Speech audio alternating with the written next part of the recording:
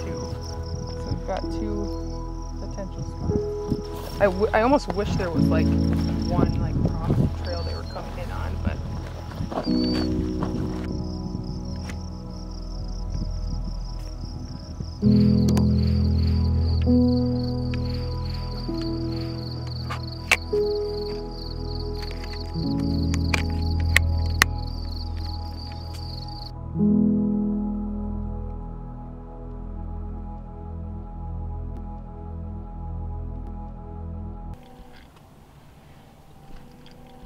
yeah, a little protein and some decaf coffee because I'm an old lady.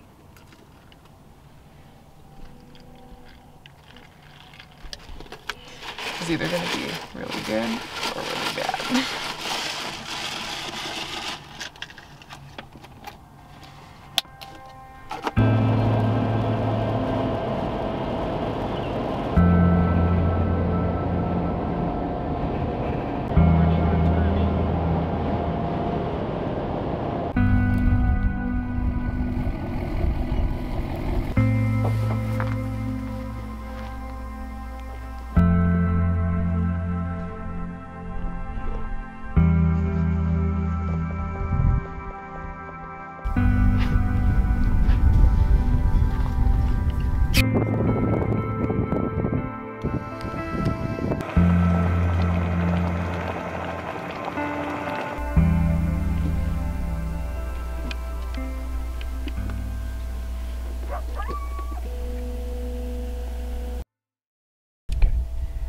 Right, it's the first day of South Dakota archery antelope season.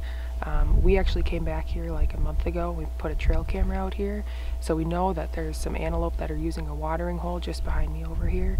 We're actually gonna, our first step this morning, we're gonna go to the top of a butte and do some glassing. So we're gonna start our day off with that and see how that goes.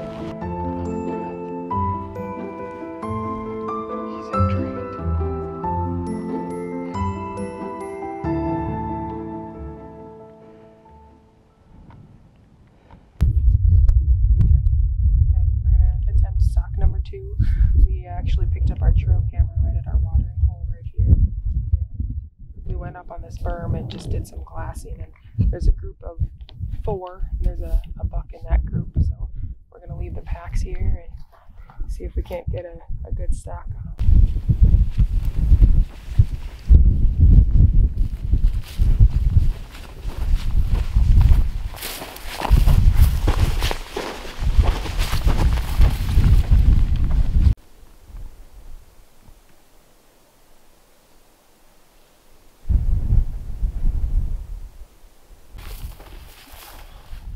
How was that belly crawl? It's great. I got my workout in now. Yeah. Yeah. Ready for stalk number three. Go. Here we go. We took a little break, did some driving around. Um, didn't see much for antelope. I don't know how many miles we put on, but um, finally spotted a good group. There's at least one buck in there, uh, but it's a big group, so it's a lot of eyes. So we're in this gully right now, so we're gonna walk down through it, see if we can get close, but we'll see.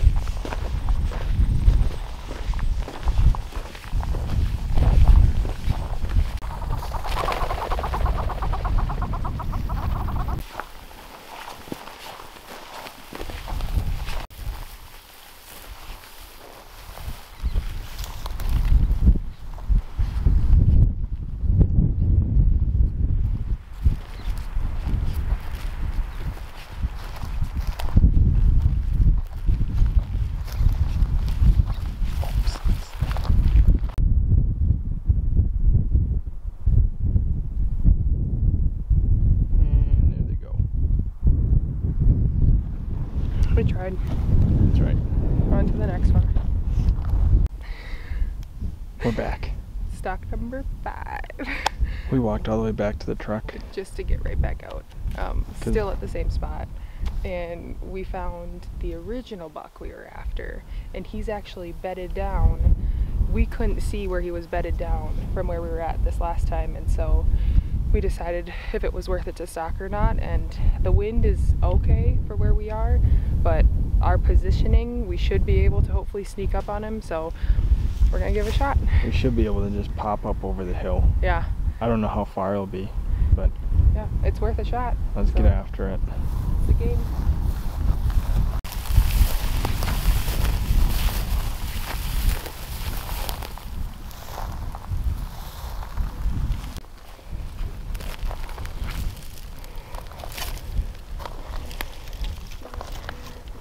Did you see him?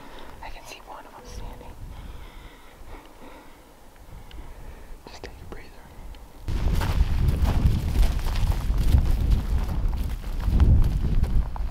I see the buck. The buck is bedded. Yeah. Oh, so. What's his range? 96. He's right there. Are you kidding me?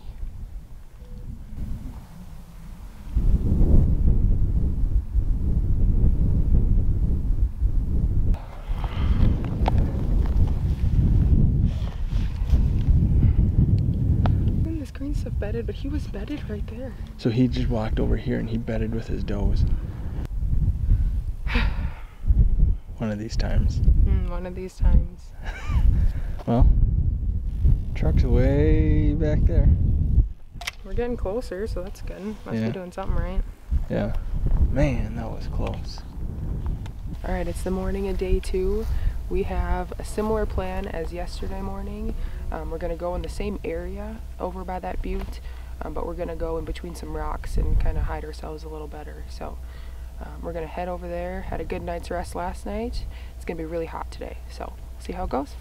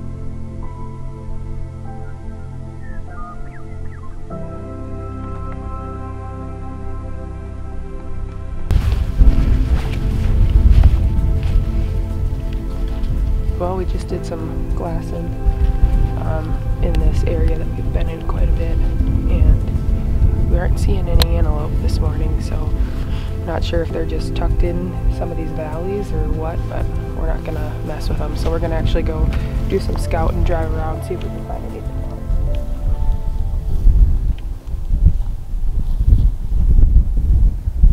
We went down the road a little bit and spotted a buck in the same area as our stalk that we did last night. Um, can't quite tell if it's the same buck, but he's up on that same exact area. So we're gonna see if we can put a good stalk on him.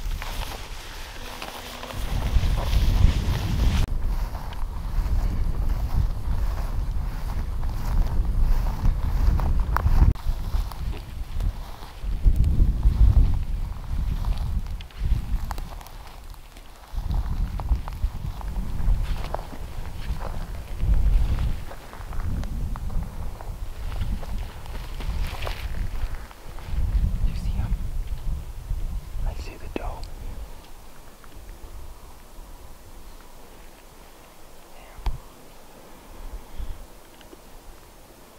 They're further up there, aren't they?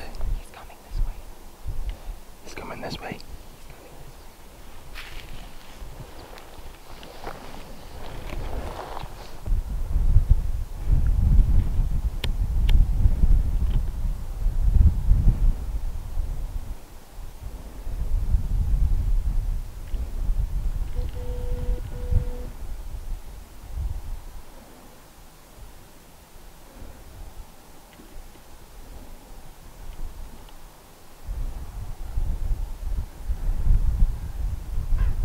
They got our wind.